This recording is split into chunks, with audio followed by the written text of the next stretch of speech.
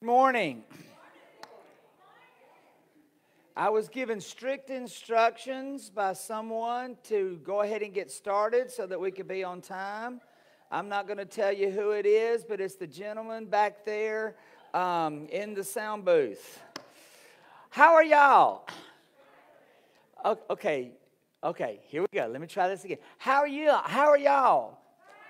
Good, good. It's good to see you out here today. I know the weather has been terrible. I love rain. Our flower beds at our house need rain and all, but I'm about to get sick of it, you know. So, but it's good that all of you are here. I'm glad that you ventured out in less than wonderful weather uh, to be a part of our service here today. We want to welcome those of you who are viewing us on our Facebook page. We're glad that uh, you are with us here today as we all worship together. A couple of things I'd like to uh, bring up as we're starting. First of all, uh, the flowers that are here on the altar today have been placed here by Sue Trish and Patsy Kaye, uh, Kaye in memory of their mother, Miss Melva Hoffman. So we want to thank them for this beautiful contribution uh, to our service of worship.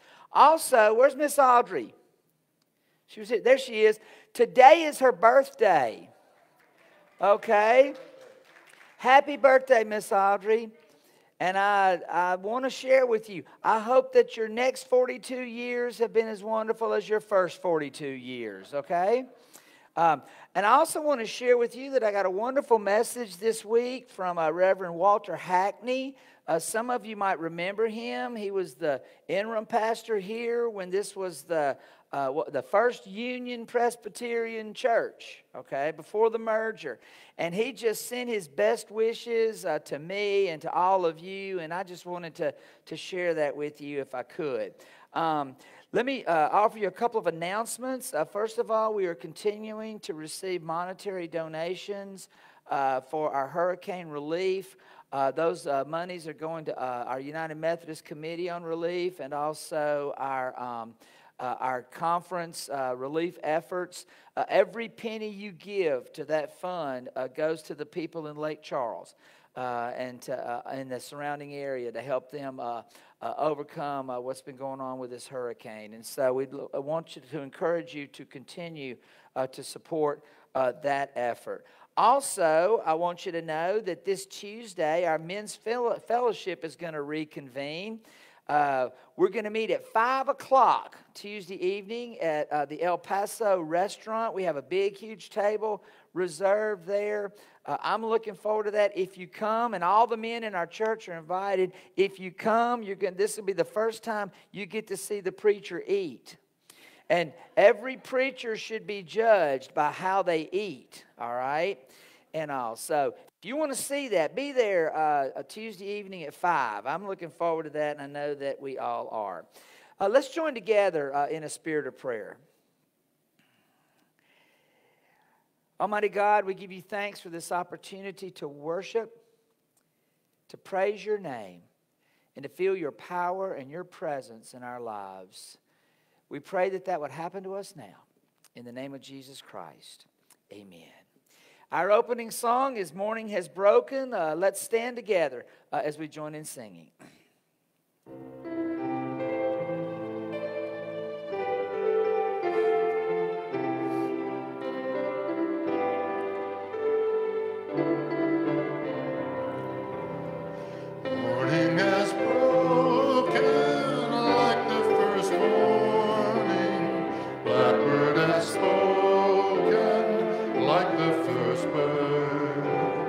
Bringing complete.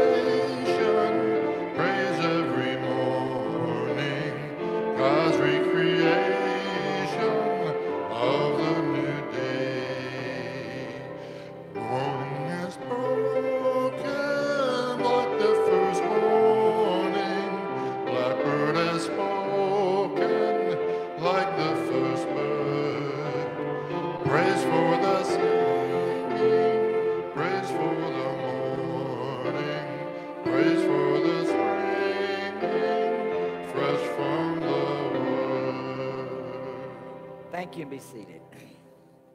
As we come to this time in our service of worship where we take the time to turn to God in prayer, as always, we like to remember those in our church family, uh, our friends, and our loved ones who have asked that we remember them uh, in a special way. We want to uh, continue to lift up uh, Sil Callier, Denver King, uh, Frank, Frank Whiteside and Patricia Zirkle, all who are re- recovering from hospitalizations and, and other things. Uh, they remain on our prayer list. We want to lift up a special prayer for Lance uh, Lamers. Uh, many of you will remember Lance. Uh, he is going to be having spinal cord surgery in the next few days. They're no longer here, but we want them to know that our prayers and our love are with him and his family. And also, let us continue to remember uh, all of those who have been impacted uh, by this by the hurricane and, and the weather.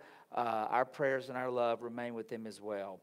Uh, if you have someone you would like to lift up and remember in this time of prayer, I would just invite you now just to speak their name aloud.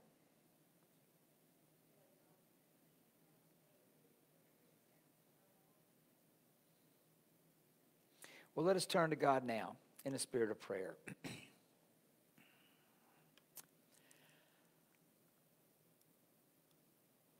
Almighty God, it would really sort of be foolish for us to tell you everything we want you to hear as we pray together. Because we believe you to be a God who is all knowing and always present. We know that you know the needs of your people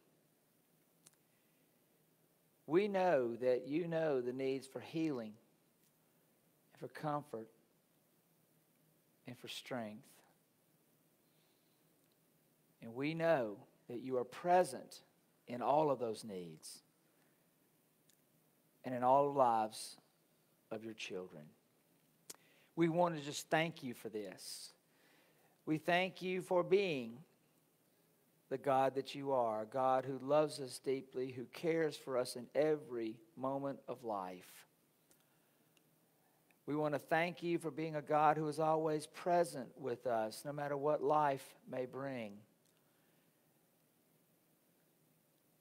And we thank you for being a God who speaks to us, offers us guidance and direction in life as we celebrate the God that you truly are, we just would simply ask in these moments that you would continue to guide and that you would continue to direct us. Help us to be the best we can be, not only for you, not only for the church, but for all of your children in this world.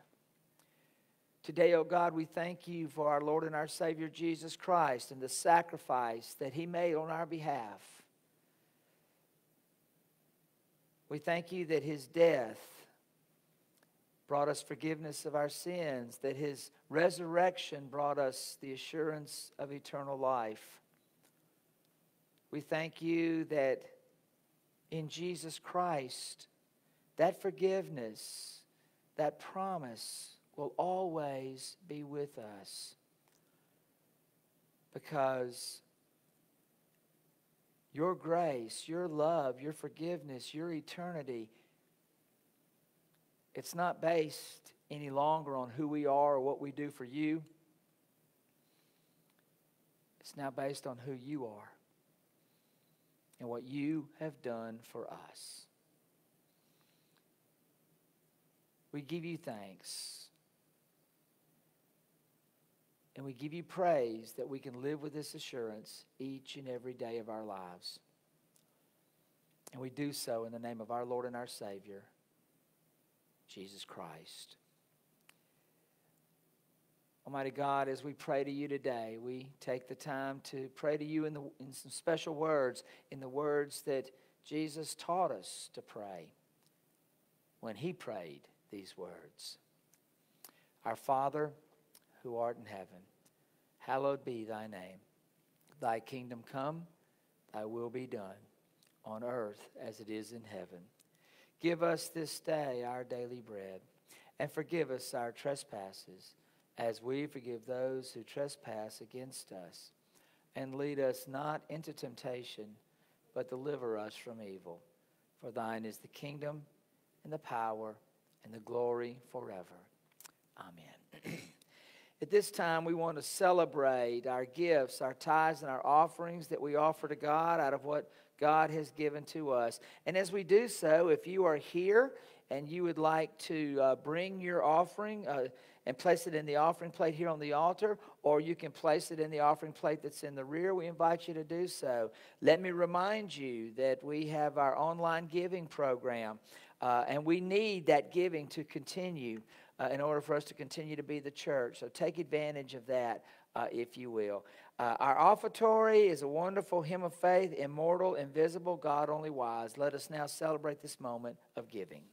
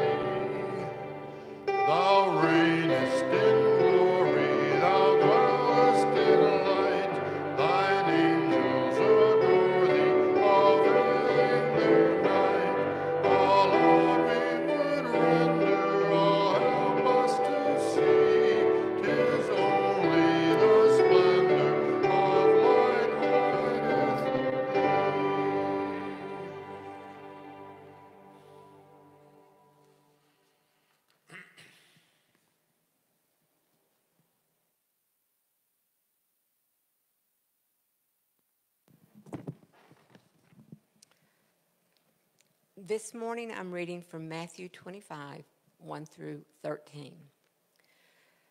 At that time, the kingdom of heaven will be like ten young bridesmaids who took their lamps and went out to meet the groom. Now, five of them were wise, and the other five were foolish. The foolish ones took their lamps, but didn't bring oil for them. But the wise, one, the wise ones took their lamps and also bought containers of oil. When the groom was late in coming, they all became drowsy and went to sleep. But at midnight, there was a cry Look, the groom, come out and meet him. Then all the bridesmaids got up and prepared their lamps. But the foolish bridesmaids said to the wise ones, Give us some of your oil, because our lamps have gone out. But the wise bridesmaids replied, No, because if we share with you, there will not be enough for our lamps and yours. We have a better idea. You go to those who sell oil and buy them some for yourself. But while they were gone out to buy oil, the groom came.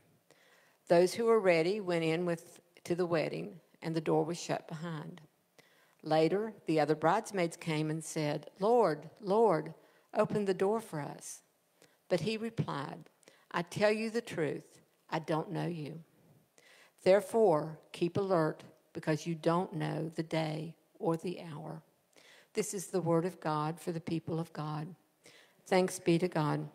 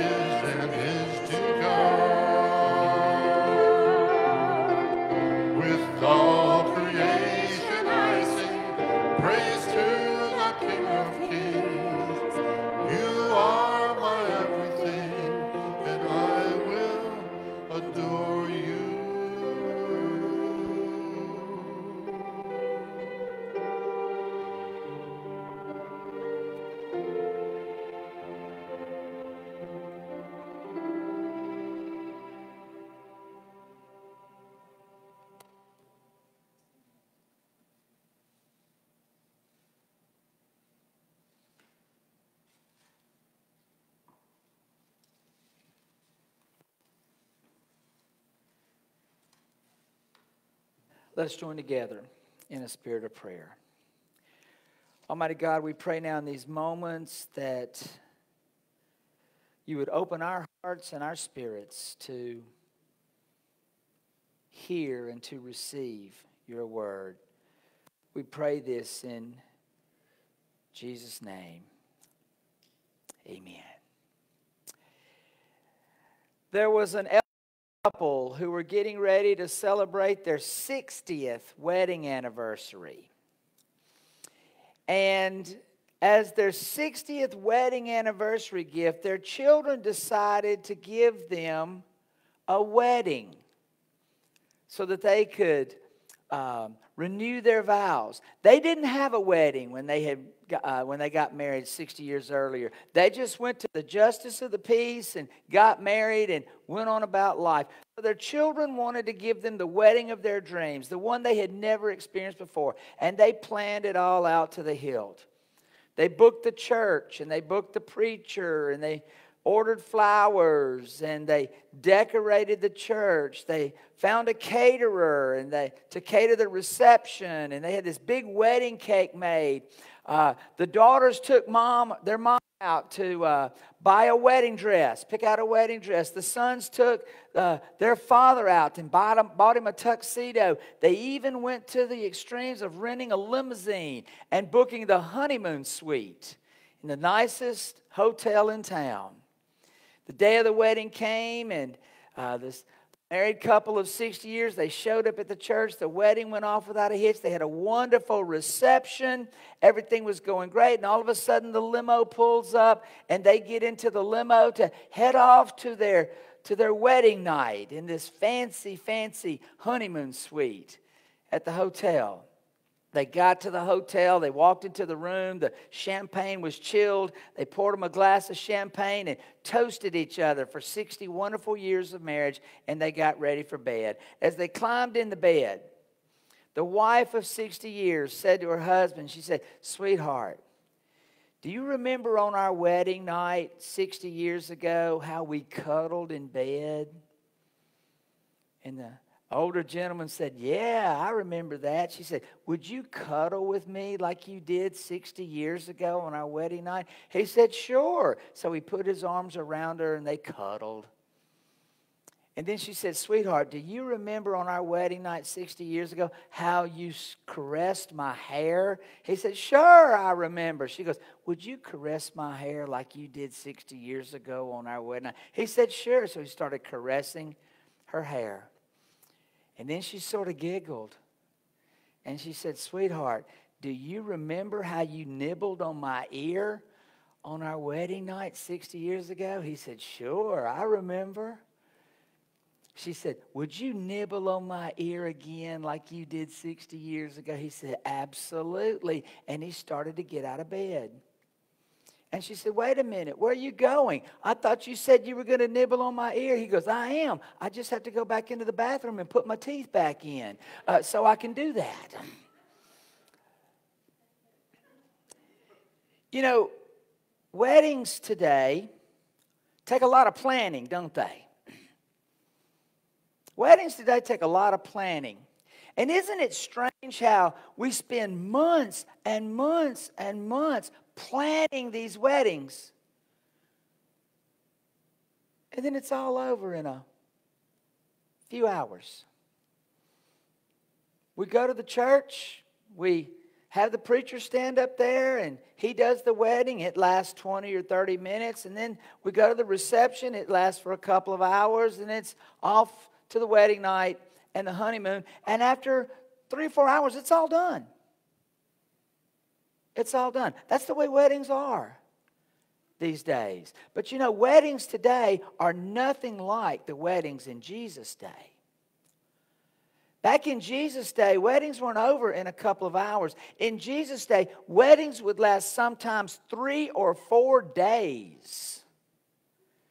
They would have a lot of different ceremonies and a lot of different religious observances, and they'd have a, a number of different gatherings and celebrations and receptions. Weddings in Jesus' day were three or four day events. And you didn't have just special invited guests who came to a wedding in Jesus' day. No, if you were throwing a wedding in Jesus' day, you had to invite everyone in the community and in the surrounding area. Weddings and those receptions and all, it was open to the public. So everybody would come. Everybody from town and the surrounding area would attend these weddings. And because of this, to be chosen as a bridesmaid for a wedding was a really big deal. It was a really big deal. If you were chosen to be a bridesmaid at a wedding, you were, had been chosen to have the experience of a lifetime. And there's a reason why. You see, back in Jesus' day, there were two requirements that you had to satisfy if you were going to be a bridesmaid at a wedding. First of all, you could have never been married before. You could have never been married. And secondly, you had to be a virgin. You had to be a virgin.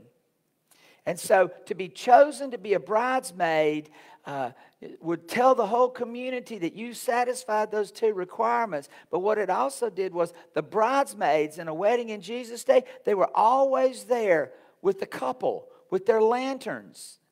That's what they did. They were always standing there. They were always visible with the wedding couple and everything that went on. So, if you were chosen to be a bridesmaid, this was the opportunity of a lifetime for you. Because if you were chosen to be a bridesmaid, you would be in front of every eligible young bachelor in the whole community. And you would be up there, and it was an easy way of saying, Look at me. I'm available. And the young women of Jesus' day, they, I, they loved that. They wanted to be chosen as a bridesmaid because to be chosen as a bridesmaid meant that you had been chosen to have one of the greatest experiences in life you could ever have. In this parable we read from Matthew's gospel today, we read about 10 bridesmaids who had been chosen they were excited about being a bridesmaid, so they all went and they picked out their dresses and they had their shoes dyed and they had their hair done and they ran over to the mall and went to Dillard's and got their makeover and, and, and all of that and they got ready for the wedding.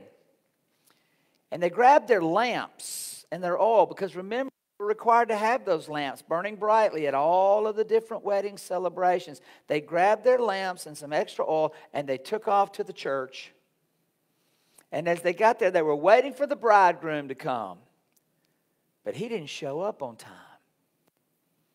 He was late for his own wedding.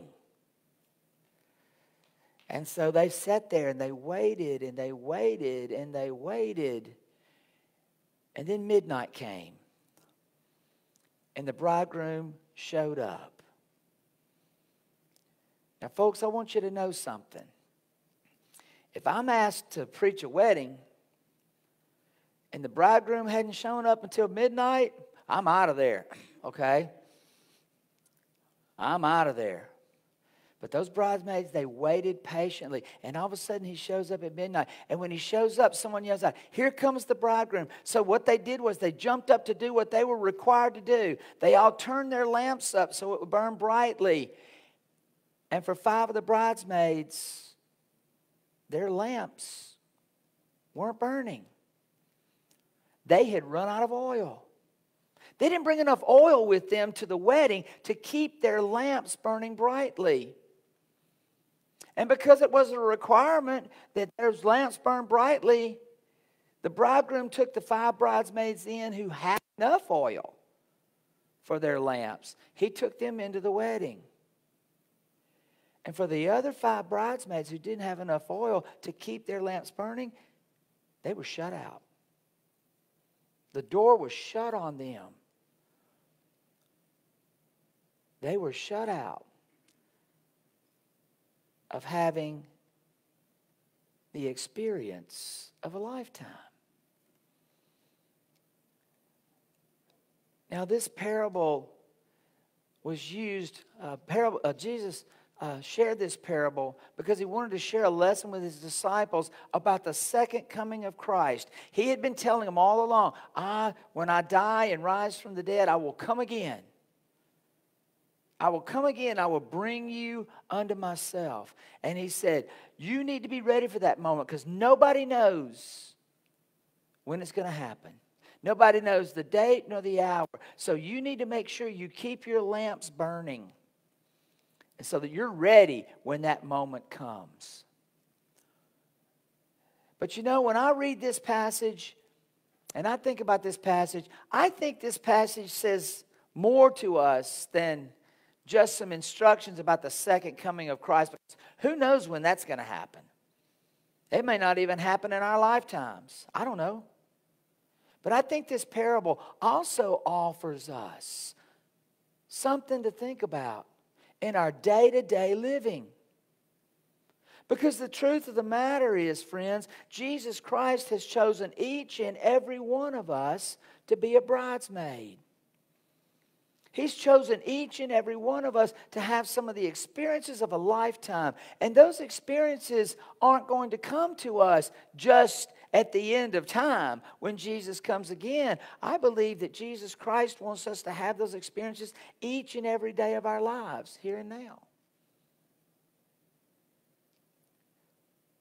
So, how is it that we can keep our lamps of faith burning each and every day so that we can have those wonderful experiences that Jesus Christ wants us to have in each and every day of our lives? What is the oil that we need to keep those lamps of faith burning?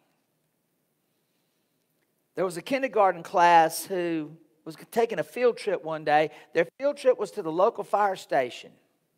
They were going to go and tour the local fire station. And so they went in, and the fire chief was taking them around. They, they got to climb up on the fire truck, and they heard the sirens, and they saw all the uh, firemen's outfits and all of that. And they were enjoying their tour of the firehouse. And when it was coming to an end, the fire chief decided to do some educational stuff with the kids about what to do in case of a fire. And he said, The first thing, if you're in a building that catches on fire, the first thing you're supposed to do is get down on your hands and knees. He said, if you're in a building that catches on fire, your house catches on fire, the first thing you do is get down on your hands and knees. And he said, Do you know why you're supposed to get down on your hands and your knees? And this little boy said, Yeah, you get down on your hands and knees and you pray for God to get you out of this mess. That's why you get down there. You know, friends, let's be honest here. How often in our lives of faith do we take the time to pray? Only when we want God to get us out of some mess. How often do we find in our lives of prayer that we pray to God only when there's some kind of a mess going on? And we all do it. I do it. I do it. I think we all do that. Prayer was intended to be much more than that in our lives of faith. I think sometimes we see prayer as just a time for us to sit back and tell God everything we want God to know. Tell God everything we need. Tell God to get us out of this mess and that mess. Tell God that this is what we need God to do.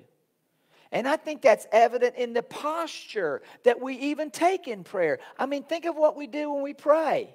What do we do? We bow our heads, we close our eyes, some of us put our hands together, and we tell God everything we want God to know.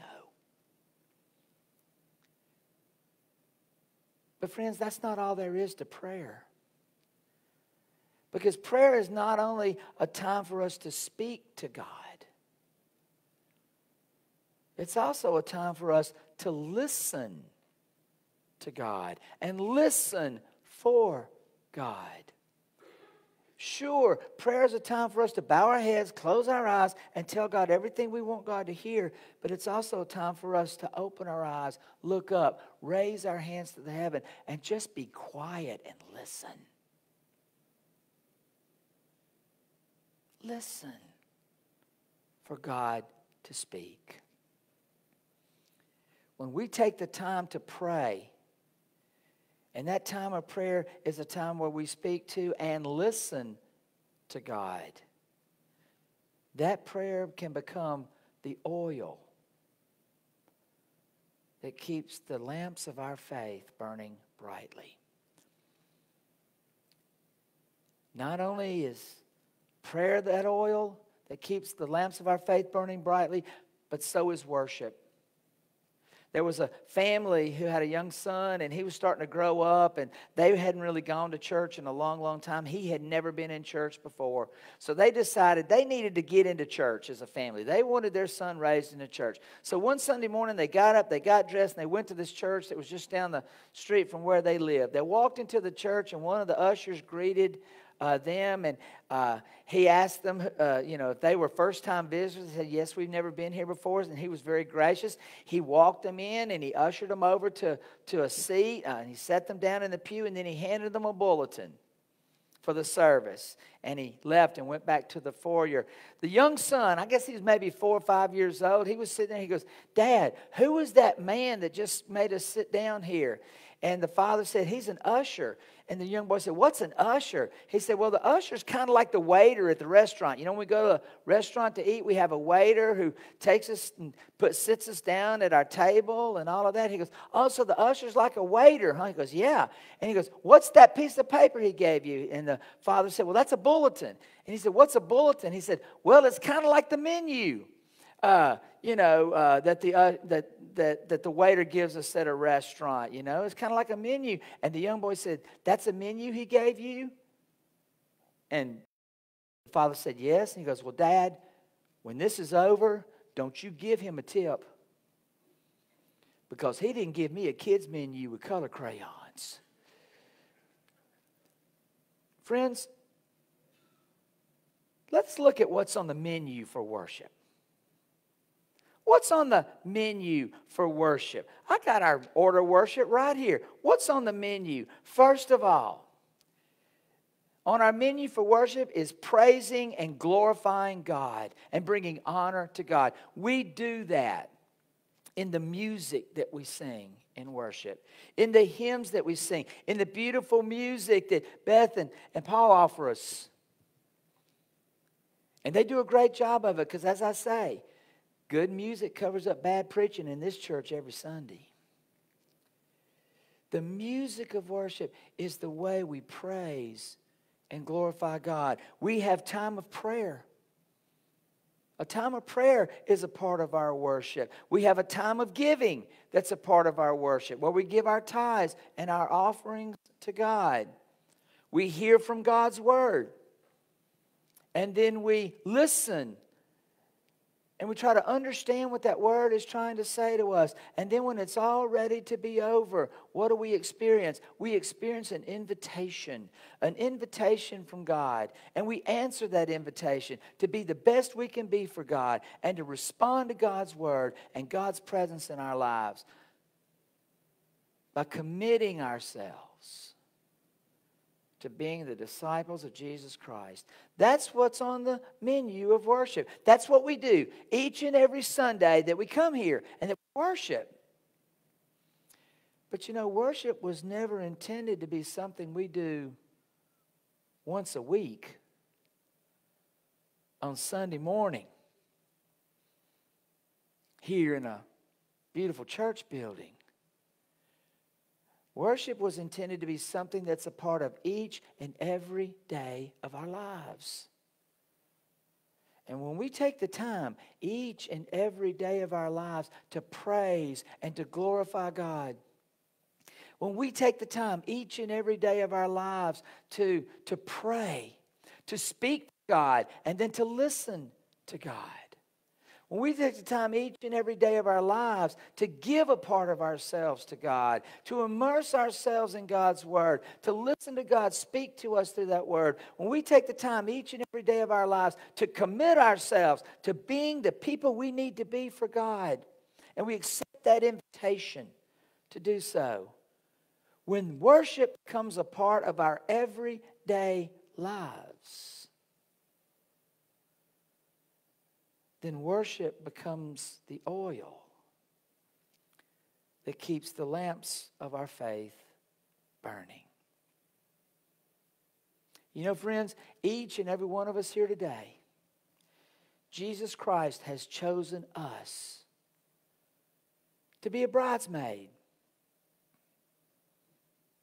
And I know some of you are men, and you're not interested in getting your hair done or your shoes dyed or a makeover at Dillard's. That's not what we're talking about. Each one of us have been chosen by Jesus Christ to have some of the experiences of a lifetime. And those experiences can be felt not only in the life that is to come when Jesus comes again, but those experiences of a lifetime can be felt right here in the here and the now. As long as we can keep the lamps of our faith burning brightly. And the oil that keeps the lamps of our faith burning brightly is prayer. Taking time to speak to God and listen to God The oil that can keep our lamps of faith burning brightly is worship. Each and every day, praising and glorifying God, giving of ourselves, immersing ourselves in God's word, answering that invitation to be the best we can be for God. When that prayer and that worship becomes a part of our everyday lives, then the lamps of our faith will burn brightly. And Jesus Christ will bless us with some of the most incredible experiences we could ever know in life question for us today is how's our wedding planning going? How is our wedding planning getting along? Do we have enough oil to keep our lamps of faith burning brightly? Would you join with me in a spirit of prayer?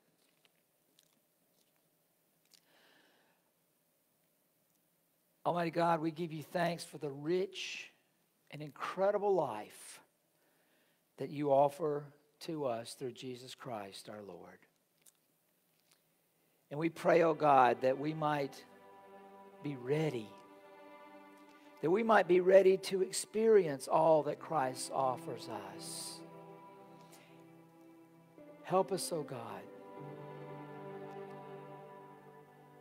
to have enough oil for our lamps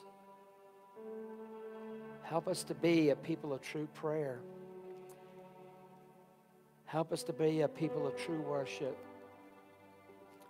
so that in each and every day of our lives we can have those incredible experiences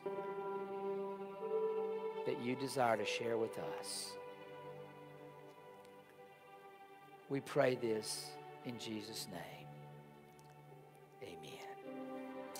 Our closing song is a great hymn of our faith. To God be the glory. We're going to stand together as we're going to join in singing. And as we sing this hymn, if you're here today and you would like to profess your faith in Jesus Christ, become a Christian here today, we want to invite you to come forward as we sing. If you're here today and you'd like to unite with this church by transferring your membership from another congregation, we invite you to come forward as we sing. In whatever way God's Spirit might be leading you to answer that question Do I have enough oil for my lamp? Whatever way you need to respond to that, I invite you to do so as we sing this closing hymn together. To God be the glory.